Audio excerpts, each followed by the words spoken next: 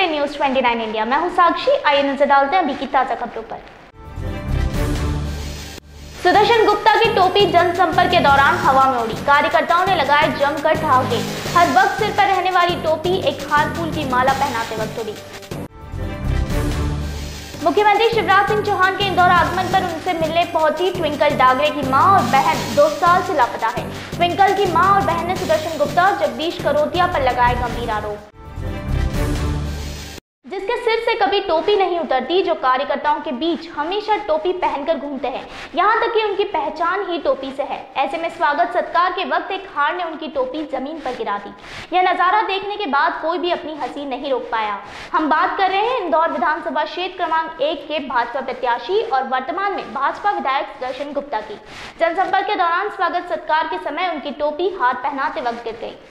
इंदौर के विधानसभा क्षेत्र क्रमांक एक से भाजपा प्रत्याशी सुदर्शन गुप्ता की टोपी को लेकर कई कहानियाँ प्रचलित हैं और इन किस्सों में ये बात भी शुमार है कि वे घर की चार दीवारी के अलावा अपनी टोपी कभी नहीं उतारते। हालाँकि ये बात अलग है कि उनके घर में कार्यकर्ताओं या मीडिया हो तो वे चार दीवारी में भी टोपी पहने दिखाई देते हैं। लेकिन उनकी टोपी सरे राह एक हार ने गिरा दी जनसंपर्क के दौरान एक कार्यकर्ता ने सुदर्शन गुप्ता को फूलों की माला पहनाई, जिसके बाद हवा और भीड़ के सहारे उनकी टोपी उनसे दूर चली गई। यह नज़ारा देख कार्यकर्ताओं ने भी जमकर ठहाके लगाए। उनकी टोपी तो दोबारा सिर पर आ गई, लेकिन कार्यकर्ताओं की बहुत देर तक हँसी नहीं रुकी। फ़िलहाल तेज़ी से वायरल हो रहे इस वीडियो को देख हर कोई हैरान है।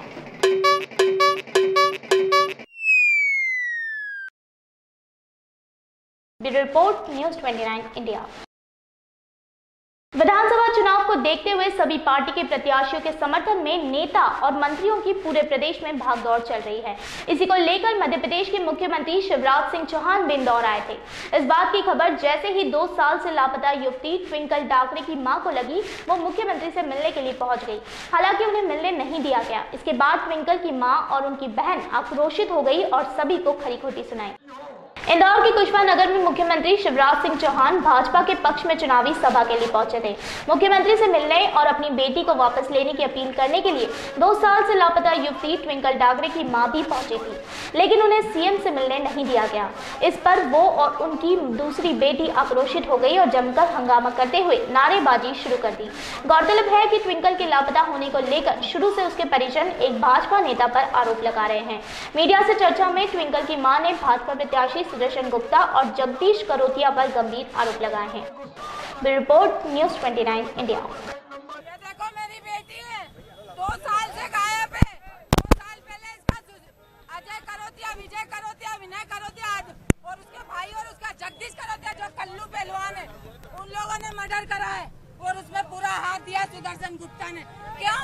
ये नहीं पूछोगे क्यों? क्योंकि वो में थी और ज़मीन का जितना भी सौदा सुदर्शन गुप्ता करवाता है ना उसका सबके राज जानती थी मेरी बेटी। बिजनौर के जिला कारागार जेल में बंद कैदियों के लिए जेलर ने कंप्यूटर सेंटर खोला है। इस सेंटर का उद्घाटन डीएम अटल कुमार राय ने किया। इस मौके पर एक प्रतियोगिता का आयोजन किया गया। इस आयोजन में कैदियों ने बढ़ चढ़ कर हिस्सा लिया। प्रतियोगिता के माध्यम से कैदियों का भारी उत्सव वर्धन हुआ। रस्सी खींच, रंगोली, कबड्डी और डांस सहित कई प्रतियोगिताओं में कैदी ने हिस्सा लिया।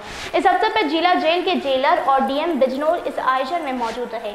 इसके बाद बंदियों को उनकी कला के लिए प्रोत्साहित कर उन्हें पुरस्कार देकर सम्मानित किया गया। Bureau report, news 29 India. सुन कहाँ ढूंढोगे शहर में जब तुम आधी रात? अब सुन लो तुम मेरी बात। कहाँ ढूंढोगे शहर में जब तुम आधी रात? जब सारी दुनिया सो जाती है हो जाती है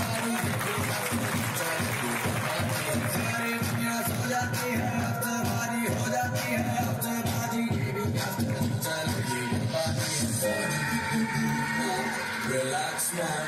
The body with the good mouth. Relax, man. The body with the good mouth. Relax, man.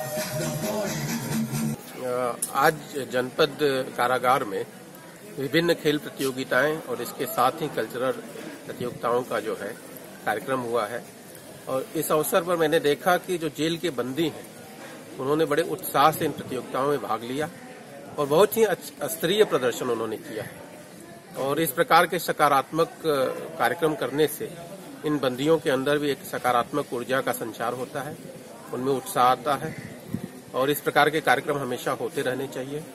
और मैं बहुत प्रसन्न हूँ कि हमारे जेल के सुप्रिंटेंडेंट साहब और उनकी पूरी टीम ने इस प्रतियोगिता को बहुत अच्छे तरीके से संपादित किया। बिजनौर महात्मा विदुर कुटी गंगा तट पर पूरी तरह तंबू का शहर बच चुका है। ट्रैक्टर, ट्रॉली व भैंसा बग्गी से श्रद्धालुओं के काफिले मेले में पहुँच रहे हैं। रातों दिन श्रद्धालुओं का काफिला आना जारी है। वहीं योगी सरकार के आदेश अनुसार श्रद्धालुओं की सुरक्षा के कड़े इंतज़ाम भी किए गए हैं। प्रशासन ने मेले की गतिविधियों पर नज़र रखने के लिए बारह सीसीटीवी कैमरे लगाए थे। विदुर कुटी के सामने भागीरथी गंगा तट पर हर साल मेला लगता है। इस मेले में करीब एक एक लाख श्रद्धालुओं ने अपना डेरा जमा लिया। प्रशासन ने गंगा तट पर 12 नाव और गोताखोरों की टीम भी तैनात कर रखी है। गंगा स्नान मेले पर विदुर कुटी गंगा तट पर हर साल यहाँ पर लाखों श्रद्धालु पहुंचकर गंगा स्नान करते हैं। इसी के मद्देनजर पुलिस प्रशासन पूरी तरह अलर्ट है। मैं विनय कुमार। विनय जी ये गंगा जल स्नान का जो पर्व होता है अभी दो दिन पहले से आप लोग यहाँ पे मौजूद हैं। तो क्या इसके क्या महत्व है? इसका महत्व ये हमारा हिंदू धर्म में बहुत पहले से चलता आ रहा है ये दारानगरगंज महात्मा विदुर जी की तपोभूमि है। यहाँ पे हर साल की भांति इस साल भी भव्य मेला समारोह है। और कुछ छोटे छोटे घाट और भी हैं जो पूरे बिजनौर में हैं। उन पर भी स्नान है। और इस संबंध में पर्याप्त व्यवस्था की गई है। मुख्य स्नान जो कि बिजनौर डैम पे और गंगा घाट में और दिलकुटी में और अफजलगढ़ आदि में है। वहाँ पर पर्याप्त पुलिस बल लगाए गए हैं। नाव पर पुलिस गश्त कर रही है। और फायर ब्रिगेड की भी, हर घाट पर फायर ब्रिगेड की भी व्यवस्था की गई है।